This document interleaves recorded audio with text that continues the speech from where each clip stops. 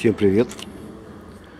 Kia Sportage в белом цвете и черная крыша, смотрите. Датчики парковки спереди, много хрома, линзованный свет, светодиоды тут. Все на высоте. Мы, соответственно, уже дань моде. Низ, видите, губы в таком серебристом цвете выполнен. Как обычно, давайте почитаем, что же здесь предлагает и сколько просит за эту машину. И потом продолжим осмотр. Итак, Sportage 2,4 литра движок, бензин, 104 лошади, автомат, привод полный, 201 км в час максималка, расход топлива 86, разгон до сотни 9,6. Смотрите, с доп. оборудованием КР салон багажник, защита ДВС, сигналка с автозапуском. Машина стоит 2 миллиона 534 тысячи 900 рублей в белом цвете. Фу -ху -ху. Так. Совсем скоро уже появятся рестайлы. Ну вот к этой морде мы долго привыкали, да? Тому, походу, мы еще дольше привыкать. Ну что, в принципе-то тут достаточно такие пропорциональные формы. Лично мне все нравится. Смотрите, у нас такие двухцветные диски. Резины Continental. 245 45 R, R19, но вот так, не меньше. Спереди имеются брызговички, повторители в зеркалах, бесключевой доступ. И тут, видите, хром сверху, как и на К5. Понятно, что сзади будут дисковые тормоза, в арках стоит фетр, датчики парковки.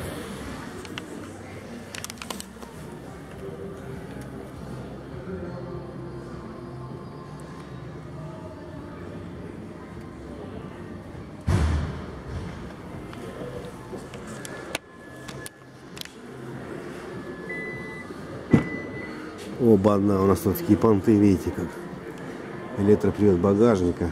Деваться некуда. Вся крышка, видите, в пластике. Такие массивные эти упоры. Имеется шторочка. Ну, тут, в принципе, все стандартно. Смотрите, у нас LED-подсветка. Толстый полик, отлично. 245 45 R19 Удивительно, удивительно. Обычно в спортлыжах идет докатка, а тут прям вот на полноразмерная запаска. Вот эти вот полочки можно снять, и тут у нас будет открытая ниша. А вообще, тут, видите, можно еще вот положить вот эту шторку, если ей не нужно. У нас съемная. Ну, в принципе, достаточно большой багажник.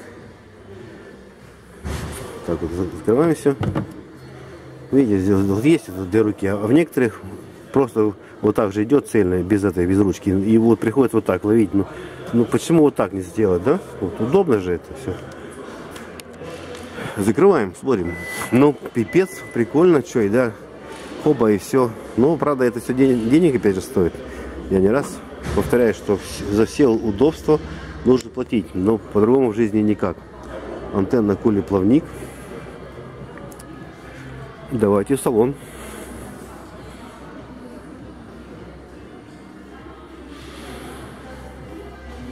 Здесь, смотрите, ниша не глубокая.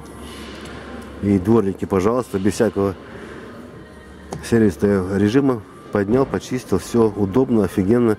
Легко почистить от снега, от листьев. Замечательно.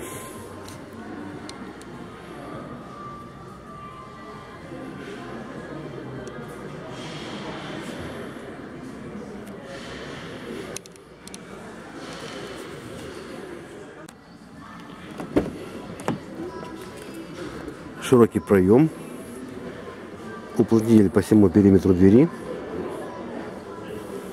мягкий здесь этот верх, да и тут тоже, собственно, тоже все это мягкая доставка идет, мягкий подлокотник, все, что ниже уже пошло из твердого пластика. Динамик, динамик, имеется подбутыльник, правда здесь пластик, ну то бишь вот так все, здесь ниша она как ручка, И тут тоже имеется, видите, как и, допустим, в Kia Rio, тоже такой бесприлив, утолщение. Если вдруг руки у вас влажные, то порыв ветра у вас дверь из рук не вырвется. Это отлично. Все это стеклоподъемники, водители пассажира авто, блокировка дверей стекол, электрозеркала, еще складывание зеркал имеется, сейчас все отключено. Вот такой. И тоже, видите, глянец, ну куда без него. Опа, что это такое, смотрите, вот низ, давайте я закрою. Видите, у нас здесь вот так идет хром. Вот я не знаю, нужен он или прямо тут, где самых, где грязь. Тем более у нас двери, пороги не, не закрывает. И вот тут прям открываем сейчас, да, конечно, ух ты, красиво, все блестит, еще у нас куча лампочек тут. А после пару поездок по грязи, это вот это все надо, будет выдраивать. Но, честно говоря, вот сомнительно, что вот там хром. Ну, допустим, он есть, ладно. Электропривод сидений поясничный подпор.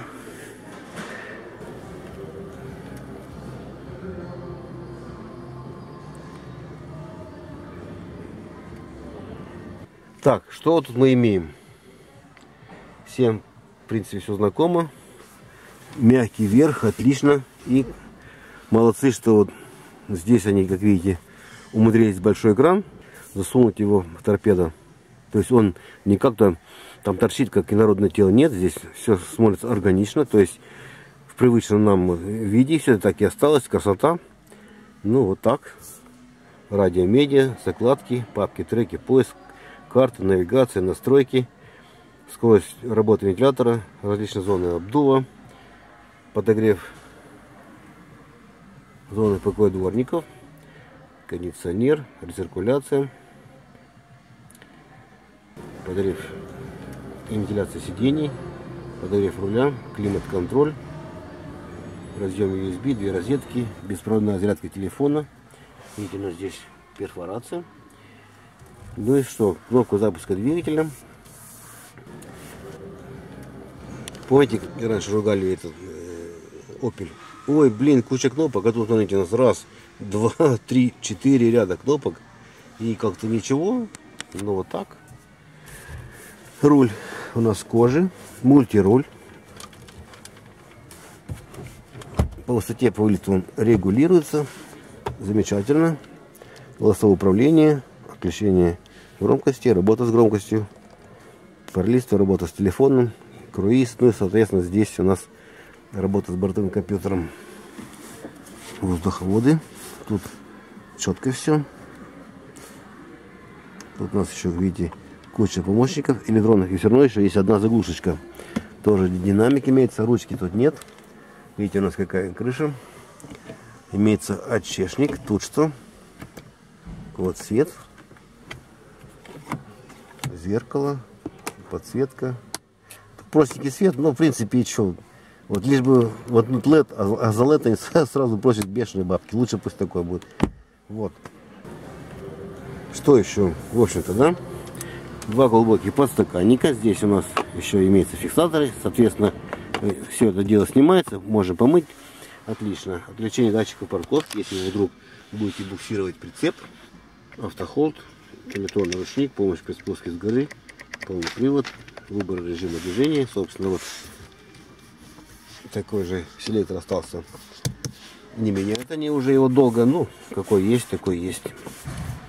Тут что имеем? Полочка такая еще, видите, ниша. Тут тоже можно это днище вытащить, помыть. Не сдвижной подлокотник, вот от слова совсем. Глубокий, да. Кожаный, мягенький. Тут тоже все, ух ты, хорошие боковые упоры. Тут тоже все класс. Ремни по высоте регулируются. И здесь у нас еще есть микролифт. Тут все замечательно. Видите, какие широкие, да? И, и почему-то в отличие от Тусана, хотя машины родственные, да, но в Тусане есть вот эта вот пластматушка так выдвигается, да, и, и вот перекрывает вам солнце, а тут почему-то нету. Почему вот так вот их развели, не знаю. Давайте посмотрим бардачок. Микролист, подсветка. Походу и все. Ну что, достаточно уютно в машине. Давайте под себя настраивай. Видите, здесь тоже идет округлость, все. Оно так плавно переходит. Раз, ребро пошло. И тут оно как, видите, как обыграли одно целое. Пошло вот так по кругу. И вот там все это дело сходит на нет. Ну, прикольно. Так, чуть-чуть поближе еще. Плохо, что салон этот у них несколько на отшибе. В смысле Kia. Так. Ну, про кнопку запуска я уже сказал. Вот, в общем-то, я уселся удобно, как я люблю. Чуть-чуть откинувшись. Вот так, да. Ну что, идемте назад.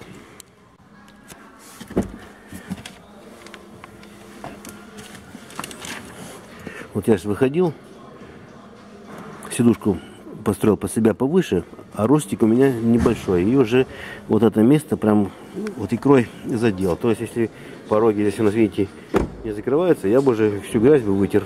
Значит, надо поаккуратнее при выходе из машины. О, смотрите, какой у нас широкий проем. Почти метр, да, вот то есть тут поверху. Тоже имеется уплотнитель. Здесь уже вес твердый, но подлокотник все равно. И вот эта вставка тоже мягкий. Глянец, подогрев сидений, или это стеклоподъемник, подбутыльник. Давайте присядем. Смотрите, как здесь. Раз, два, две ладошки при моем росте 172 сантиметра. Карманы реализованы в виде сеток. Можно Здесь отрегулировать интенсивность обдува. И здесь есть две розетки. Обычная и для зарядки гаджетов. Ух. Видите, какая напулька. И тут свет у нас такой. И там, собственно, та же. Почему? Потому что на свете какая крыша. Вот, крючок не нужно. Убрал. Нужно, достал и повесил. Там крючка уже нет. Зато здесь есть вот такие еще дополнительные крючки. Хорошо. Элегантная ручка. Ну что хочу сказать. По сиденьям. Немного-немного не вот коротковатый. Чуть-чуть бы сантиметра полтора-два подлиннее был бы. Запасика тут уже как такового нет. Но угол наклона сидушек неплохой. Неплохой. Здесь нам предлагает вот такой подлокотник сзади с двумя подстаканниками. И угол сидений тоже как бы неплохой. Три подголовника.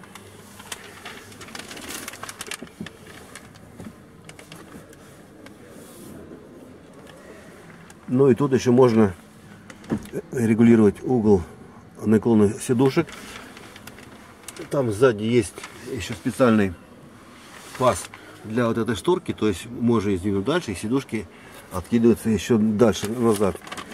Вот. Так, что, давайте еще раз смотреть. Значит, что мы имеем? Спортыш с движком 2.4, 104 лошади. У нас автомат, полный привод, климат-контроль, круиз здесь есть, руль в коже, мультируль с подогревом, подогрев всего салона, сиденье переднее еще и вентилируемое, охлаждаемое, кожаный подлокотник и так далее. Видите, у нас какая крыша. Ну, много лака, много хрома. Выходим.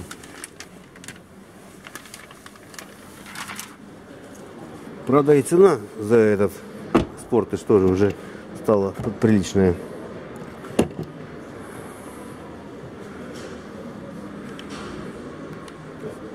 Что бы вы купили за эти деньги? Давайте еще посмотрим, сколько денег просят.